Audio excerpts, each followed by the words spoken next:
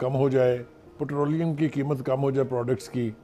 लेकिन एक आम आदमी के लिए तो ये बेमानी चीज़ है, उसको तो कोई रिलीफ मिल ही नहीं रहा, उसकी तो चीखें पहले की नस्बत सौ गुना ज़्यादा निकल रही हैं। जय हिंद दोस्तों, मैं महेंद्र शर्मा स्वागत करता हूँ वन वर्ल्ड हिंदी में। आपका उम्मीद करता हूँ आप खुश और स्वस्थ है दोस्तों। दोस्तों, आइए दिखाते हैं पाक मीडिया की को लेटेस्ट डिबेट जिसमें कैसे डिस्कशन किया जा रहा है पाकिस्तान की महँगाई को लेकर क्योंकि पाकिस्तान में आज तक ऐसी कोई हुकूमत आई ही नहीं, जिसने पाकिस्तान की आवाम को कुछ हक, हकूक और उनकी आवाज़ उठाने और उनको सहूलियत देने के लिए कुछ काम किया हो। तो कहीं ना कहीं आज पूरा पाकिस्तान इतना त्रस्त हो चुका है कि महँगाई दिन ब दिन बढ़ती जा रही है। आज पाकिस्तानी मीडिया भी इसी बारे में चर्चा की जा रही है कि इसका डिस्कस इस पे डिस्कशन सभी करते हैं, लेकिन इसकी और काम कोई नहीं कर पाता है। कैसे पाकिस्तान की अब नई हुकूमत ने भी आके 200 से 300 परसेंट हर चीज़ के रेट बढ़ा दिए हैं और पाकिस्तान की आवाम का खून चूसने का काम कर दिया है। तो आज कहीं ना कहीं पाकिस्तान की नई हुकूमत भी जो कह रही थी हम आवाम को रिलीफ देंगे, वो भी अब कुछ भी नहीं कर पा रही है। और दूसरी तरफ़ ये सारा का सारा जो रिज़ल्ट है, वो सिर्फ़ और सिर्फ़ इमरान खान का आईएमएफ के आगे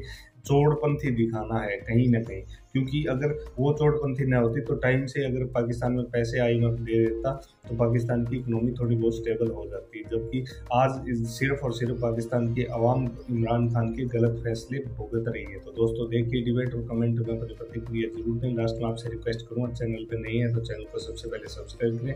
लाइक शेयर कमेंट ज़रूर करें दोस्तों। जय हिंद, वंदे मातरम, भारत माता की। जय दोस्तों की बजाय ये तो 200 से 300 फ़ीसद तक चीज़ें बढ़ गई हैं, कीमतें। ये मेरे पास पड़ा है चार्ट। इस पर मैंने, इस पर मैंने टिक मार किए हैं। कोई एक खाना ऐसा नहीं है जिसमें मुझे माइनस में दिखाई दे रहा हो। अगर यही होना था तो फिर ये मुझे नहीं समझ में आती कि ये तब्दीली जो है, इसका मकसद क्या था। दूसरी बात यह है कि सबसे ज़्यादा तकलीफ़ दे बात यह है कि चलिए, जो लग्जरी आइटम्स हैं वो महँगी हो जाएँ तो अमीर आदमी अफोर्ड कर सकता है। जो अशियाए ज़रूरियाँ हैं, जो रोज़ की बुनियाद के ऊपर चाहिए दाल है, चीनी है, आटा है, नमक है उसकी कीमतें भी आसमान से बातें कर रही हैं। तो गरीब आदमी तो मुझे नहीं समझ में आती कि कहाँ खड़ा है और कहाँ नहीं खड़ा है। दूसरी बात ये कि अब आवाम में एक अजीबो गरीब किस्म का रद्द अमल हम देखते हैं कि वो वज़ी अजम साहब के वादे, दावे या ऐलानात हों या मफ्ता साहब की जस्टिफिकेशन हों या जो वो उम्मीद की किरण दिखाने की कोशिश करते हैं, वो कोई नहीं मानता उसको। ये कैफियत तो बड़ी खौफनाक कैफियत है। मतलब है इसमें इलेक्शन हो या ना हो, इससे क्या गरज है आवाम को? उनको तो अपनी रोटी मिलनी चाहिए। जो कि नहीं मिल रही है, बहुत बुरे हालात हैं। और इसको कोई भी शख्स बैठ के ना डिफेंड कर सकता है, ना इसको बैठ के प्रोजेक्ट कर सकता है। ये शर्मिंदगी की बात है और हमारी हुकूमत को इसके ऊपर बहुत सीरियस नोटिस जितनी जल्दी हो सके लेना चाहिए, क्योंकि अगर आवाम बाहर आ गए, गुर्बत से तंग आके तो वो भी आपको, पीजे आपको भी पता है, मेरे दो साथी बैठे हैं सीनियर उनको भी पता है कि जब पीपल जस्टिस होने शुरू हो जाए तो मॉब मैंटेलिटी फिर क्या करती है?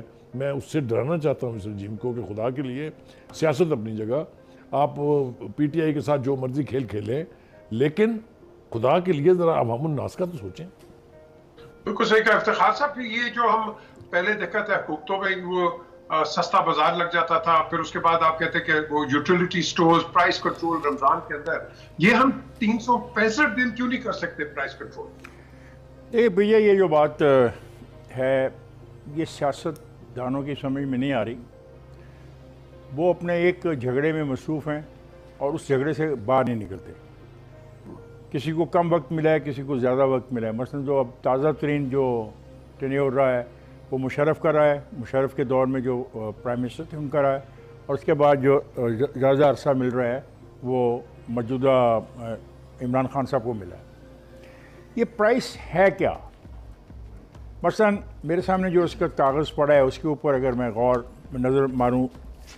अब ये, इससे क्या मुझे साबित करना चाहते हैं ये, कि कीमतों में तीन इशारिया पैंतीस फ़ीसद इजाफा हुआ। अब ये फिगर्स हैं, उन माहरीन के निकाले हुए जो बैरून मुल्क दुनिया की बेहतरीन यूनिवर्सिटियों में से पढ़ के पाकिस्तान आते हैं, अच्छे एयर कंडीशन कमरों में काम करते हैं।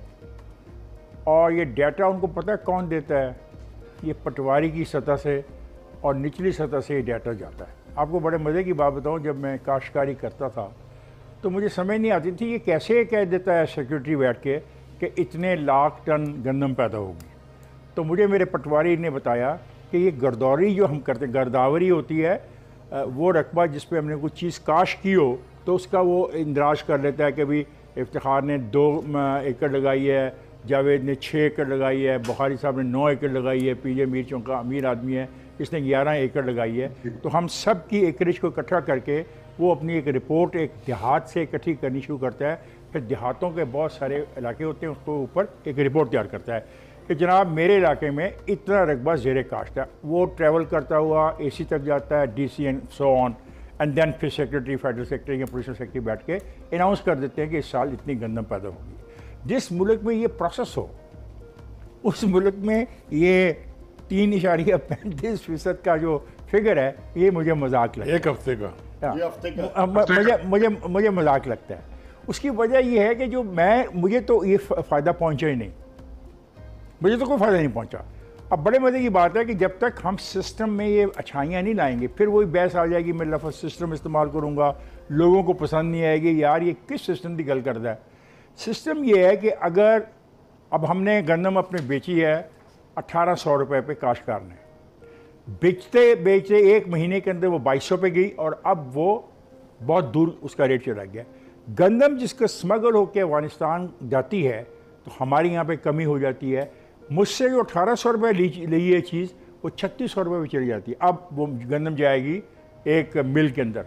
मिल का मालिक उसको फ़ी मन के हिसाब से चार्जेस अलहदा करेगा। अब उस गंदम में से आटा अलहदा कर लिया जाएगा और मैदा अलहदा कर लिया। अब दो चीज़ों का फ़ायदा उठा रहा है। आटा अलहदा होगा और गंदम अपना वो मैदा अलहदा होगा।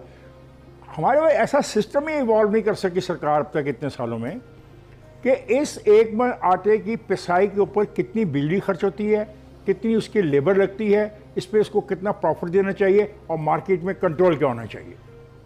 जब तक हम इस सारे सिस्टम को नहीं समझ पाएँगे और इस सिस्टम का इतलाक नहीं करेंगे तो इस किस्म की जो रिपोर्ट है ना this executive summary sensitive price indicator for the week ये जारी होते रहेंगे। इसका कोई फ़ायदा मुझे नहीं मसलन वो ये कहता है कि टमाटोज़ जो हैं, उसमें इजाफा हो गया है, बीस इशारिया अट्ठाईस फ़ीसद का। और ये जितने भी लोग इस वक्त ये मुझे देख रहे हैं, सुन रहे हैं, हम कच्चा जेल रोड से आए हूँ, वहाँ पर टमाटर रेडियो पे बिक रहे हैं, उसकी प्राइस किसने तय की है? कौन है प्राइस तय करने वाला? प्राइस तय करने वाला तो एसी था। प्राइस करने के लिए तो मार्केट कमेटी में उसको जाना था, वो तो गया ही नहीं। उसकी तो खिदमत पहले कर दी गई है। अब वहाँ पे सत्तर साल में ये फैसला नहीं हुआ कि किसान को क्या मिलना है और जो ख़रीदार है उसको क्या मिलना है। और मिडल मैन को कैसे निकाला भी डिबेट चलेगी। सब दोस्तों ने कंट्रीब्यूट करना है। मैंने तो सिर्फ़ इतना कंट्रीब्यूट करना था कि जब तक एक सिस्टम इवॉल्व नहीं करेंगे, ये इस किस्म के कागजात जारी करने से आवाम को कोई फ़ायदा नहीं है। अगर इस पर लिखा हुआ है कि मिर्चों की कीमत forty three point four two percent कम हो गई है। बिल्कुल सही। अच्छा जावेद, ये इन्होंने जो सारी बातें की है इंडिकेटर तो वही जाता है ना कि अगर आपने एक एग्रीकल्चर डिपार्टमेंट के अंदर एक इकोनॉमिस्ट को बैठा दिया, किसी और को बैठा दिया एंड ही अंडरस्टैंड एग्रीकल्चर तो ये तो फेलियर सबसे पहले तो आपका इधर आ गया कि नहीं? Not the right man for the right job देखिए महँगाई का जो इस वक्त सबसे बड़ा इशू ये है इस वक्त पाकिस्तान में और जो पिछले कई सालों से, तीन चार सालों से मैं देख रहा हूँ विद एवरी पासिंग डे महँगाई बढ़ ही रही है, चाहे वो इमरान खान की हुकूमत हो, चाहे शहबाज शरीफ की हुकूमत हो। प्रॉब्लम यह है कि हमारी हुकूमतें सच नहीं बोलती। पहला मसला ये इनका। गवर्नेंस की तो इफ्तार साहब ने बात कर ली। और तीसरा इनका सबसे इंपॉर्टेंट पॉइंट ये है कि इनकी पॉलिसीज़ में कहीं कंसिस्टेंसी नहीं है। ये पॉलिसीज़ इकोनॉमिक पॉलिसीज़ नहीं बनाते। ये सियासी पॉलिसीज़ बनाते हैं और उस सियासी पॉलिसीज़ में अपने इकोनॉमिक्स को ले आते हैं, जिससे इकोनॉमी का बेड़ा गर्क हो जाता है। इमरान खान से आप शुरू हो जाएँ। इमरान खान ने जब हुकूमत संभाली तो उनको ये समझ नहीं आ रही थी कि मैंने आईएमएफ के पास जाना है या नहीं जाना। उनको ये बात बेसिक चीज़ नहीं समझ आई और उसको समझने के लिए एक साल लगा और उस एक साल में पाकिस्तान की इकोनॉमी का बेड़ा गर्क हो गया। और जब इकोनॉमी उनको समझ आना शुरू हुई तो फिर इनके खिलाफ नो कॉन्फिडेंस मूव आई और उसका बयानिया बड़ा सिंपल था कि जी हम महँगाई खत्म करेंगे। ये तो मैं एक्सपेक्ट ये कर रहा था कि ये प्रोफेशनल्स हैं एक्सपीरियंस्ड हैं, इनके पास टीम है जो इमरान खान के पास नहीं थी, वो आएँगे तो ठीक कर देंगे। लेकिन अभी मैं पिछले तीन क्वार्टर्स की महँगाई ईयर टू ईयर देख रहा हूँ कंपैरिजन तो 39 percent thirty percent and 43 percent ये पिछले तीन क्वार्टर्स की महँगाई है, जो as compare to last year बढ़ी है। ये इन्फ्लेशन है आपका। क्यों ना बढ़े? आपने झूठ बोला कि पाकिस्तान में इन्फ्लेशन 12 परसेंट होगी। बजट में या भी जून की बात कर रहा हूँ, और अभी दो से तीन महीने गुजरे हैं तो इन्फ्लेशन देख लें। आपने कहा हम मार्केट रेट नहीं बढ़ाएँगे, आज मार्केट रेट 18 परसेंट है। आपने कहा कि डॉलर हम कंट्रोल में ले आएँगे, और डॉलर देखें कहाँ से आज 215 पे बंद है। बिजली का आपने कहा कि बिजली की कीमत नहीं बढ़ेगी तो तकरीबन अभी तक साढ़े नौ रुपए पर यूनिट बढ़ चुकी है। मुझे सिर्फ़ एक सादा इंसान के तौर पे मेरा सवाल यह बनता है कि डॉलर आपके काबू में नहीं, बिजली आपने तीन गुना महँगी कर दी है।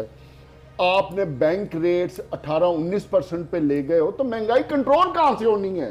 आपने कहा जीडीपी ग्रोथ पाँच परसेंट होगी, अभी तीन, सवा तीन परसेंट से ऊपर नहीं है। तो अशाय खुर्दोनेश की कीमतें क्यों ना बढ़े? इसलिए बढ़ेंगी कि आपकी वो कंसिस्टेंसी नहीं है पॉलिसीज़ की जिसकी मैं बात कर रहा हूँ। बात सिंपल ये है कि अगर आपने मुल्क को माशी तौर पे सर्वाइवल और स्टेबल करना है और महँगाई के जिनको काबू करना है तो आप सबको मीशत के ऊपर बात करनी पड़ेगी। चाहे किसी को वो बात अच्छी लगे चाहे बुरी लगे अगर आपने मुल्क को आगे लेके जाना वरना ये जो डंग टपाव है फायर फाइटिंग है ये चलती रहेगी आप और मैं इसी तरह रोना रोते रहेंगे महँगाई का तूफ़ान चलता रहेगा गरीब पिसता रहेगा और हम कुछ भी नहीं करेंगे इसी तरह शराफिया जो है वो अपनी मन मर्ज़ी की हुकूमतें करती रहेगी चाहे वो इमरान खान की शक्ल